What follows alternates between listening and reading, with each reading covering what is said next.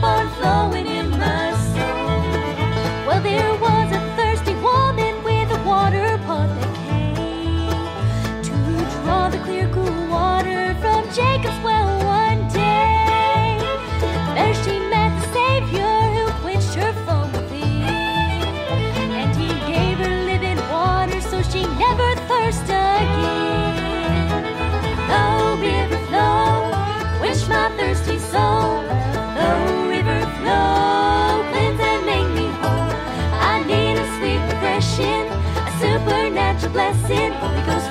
keep on flowing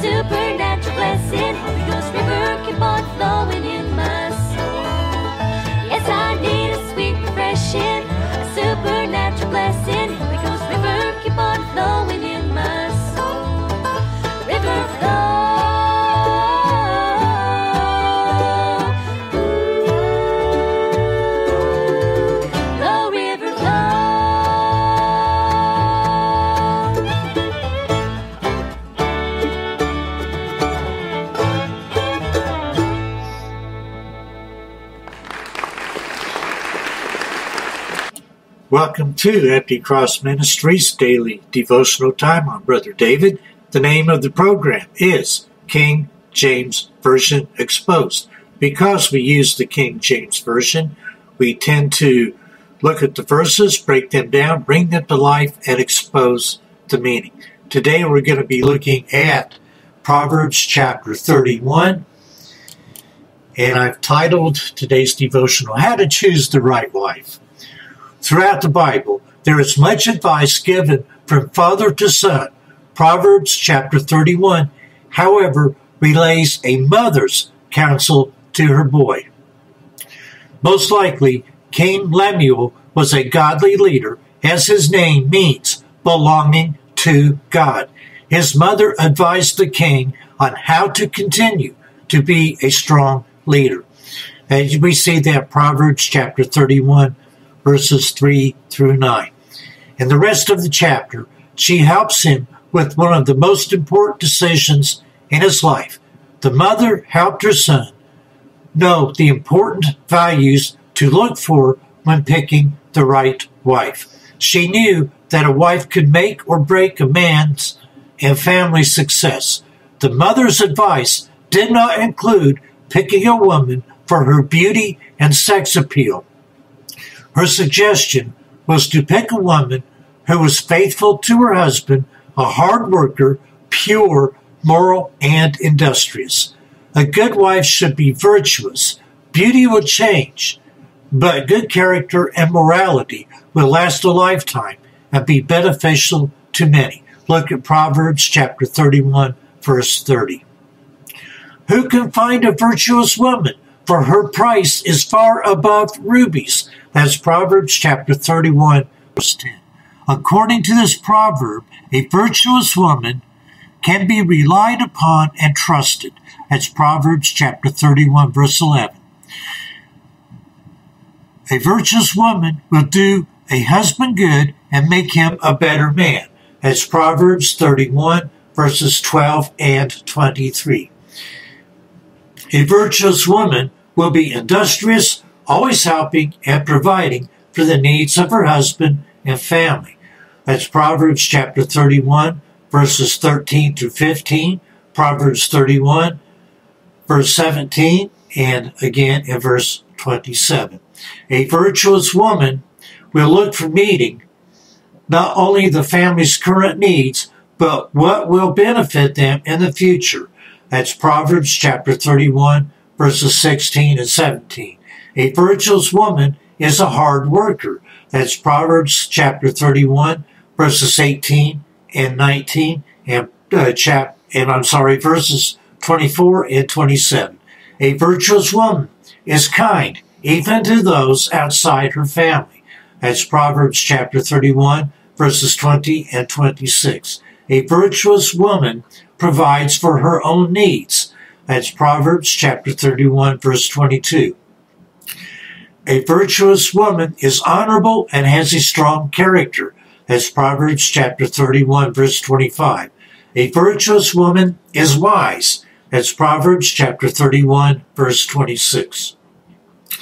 A virtuous woman is respected and relied on by her family. As Proverbs chapter 31, verse 20, verse 28. A virtuous woman is godly. That's Proverbs chapter 31, verse 30. This type of woman was not uncommon in the past. Today, perhaps because of the changing values of women of the 1970s, they are not as prevalent. Unfortunately, it has been drummed into many women's minds that they can do better than being a stay-at-home mother and wife. Many have been brainwashed into believing that being a housewife is beneath them and they should seek a career in which they are worthy and more important. Being a wife and mother is not a menial task.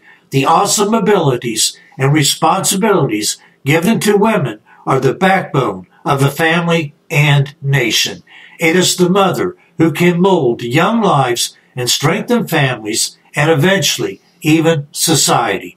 She is the silent strength and selfless worker who may not get much limelight, but without her, families and society stumble and crumble, as can be seen today. Despite what the unisex movement tried to convince women into believing, men and women are different. Women have strengths and abilities that a man does not have, and vice versa. A man can do things a woman cannot. It does not imply that one sex is better than the other.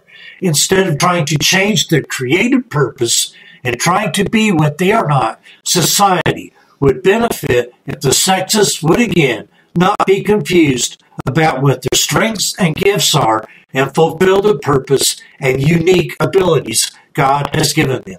Since the confusion of the sexes proliferated, the divorce rate has skyrocketed. Many children now come from broken homes.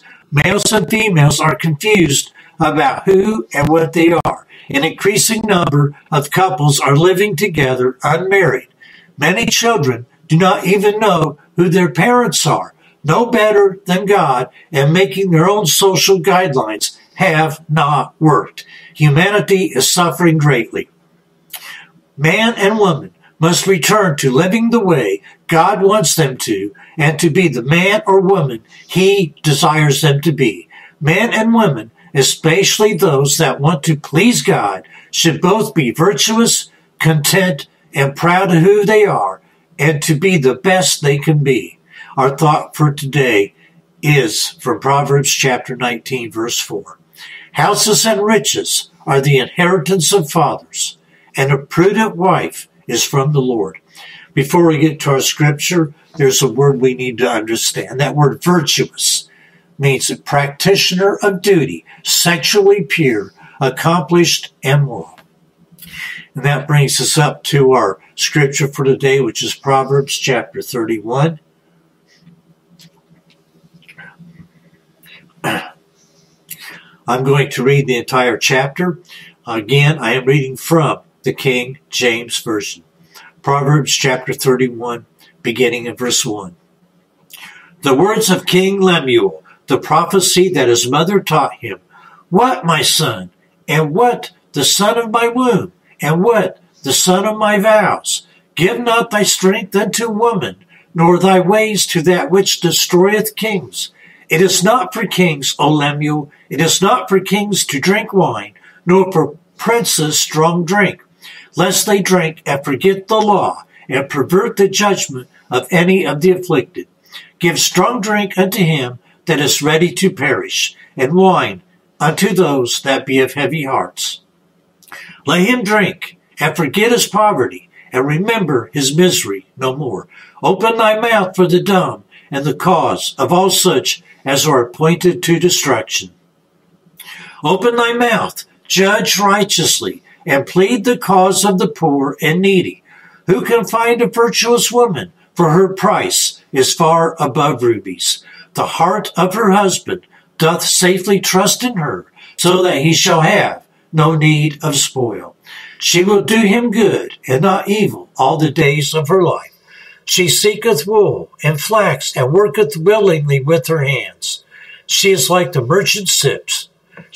Say that again. She is like the merchant's ships. She bringeth her food from afar. She riseth also while it is yet night, and giveth meat to her household, and a portion to her maidens. She considereth a field, and buyeth it. With the fruit of her hands she planteth a vineyard. She girdeth her loins with strength, and strengtheneth her arms. She perceiveth that her merchandise is good, her candle goeth not out by night. She layeth her hands to the spindle, and her hands hold the distaff. She stretcheth out her hand to the poor, yea, she reacheth forth her hands to the needy. She is not afraid of the snow for her household, for all her household are clothed with scarlet.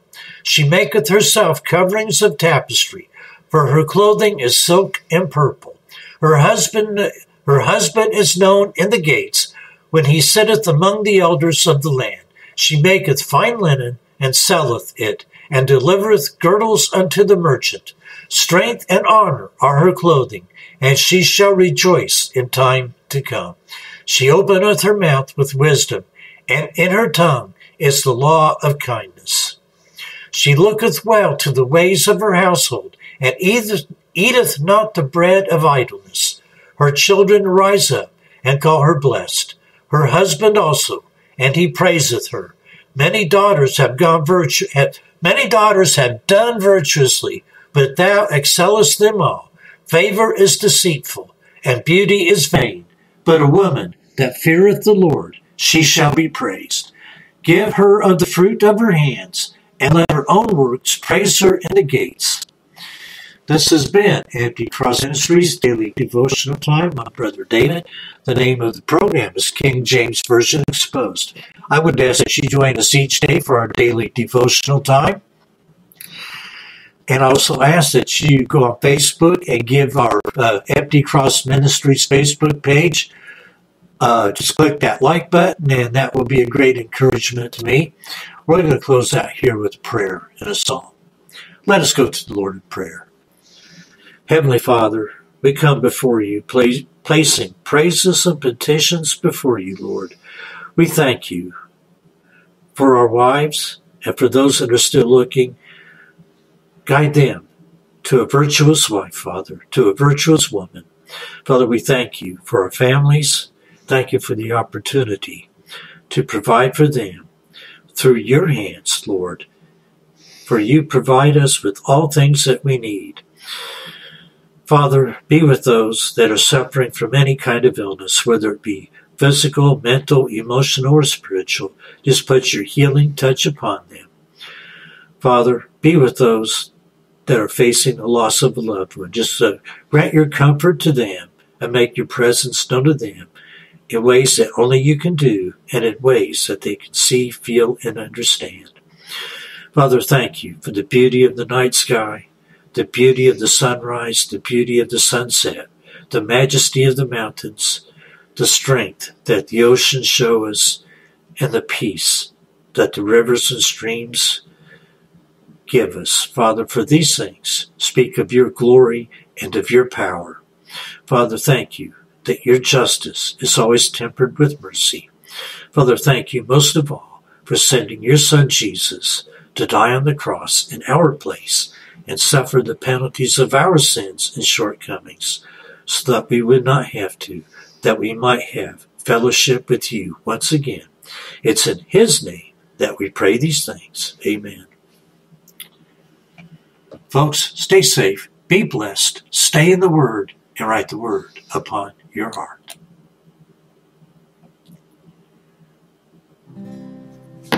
They claim the soul Bible has outlived its day, that there are some changes that need to be made. Let no man deceive Take your Bibles, or turn with me to Matthew your 24. Truth is determined by the test of time.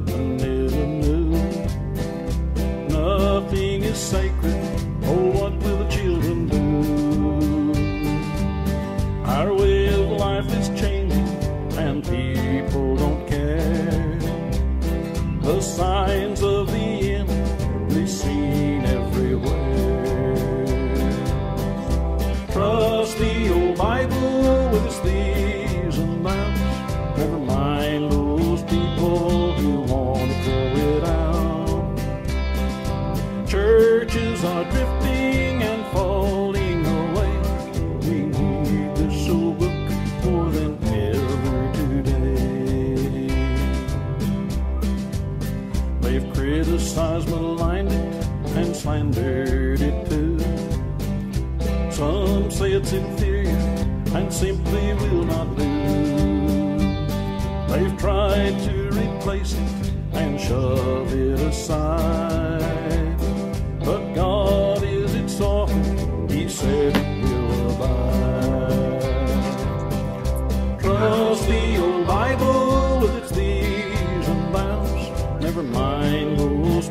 people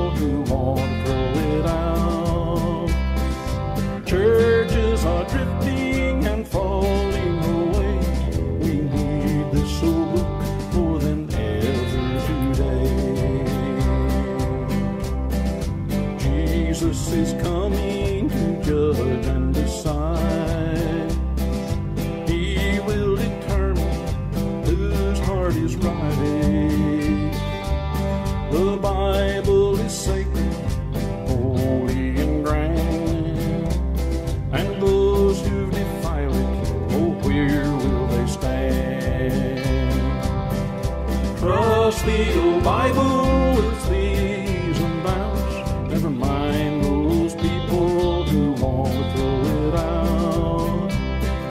Churches are drifting and falling away. We need this old book more than ever today. Folks, stay safe, be blessed, stay in the Word, and write the Word upon your heart. Until next time.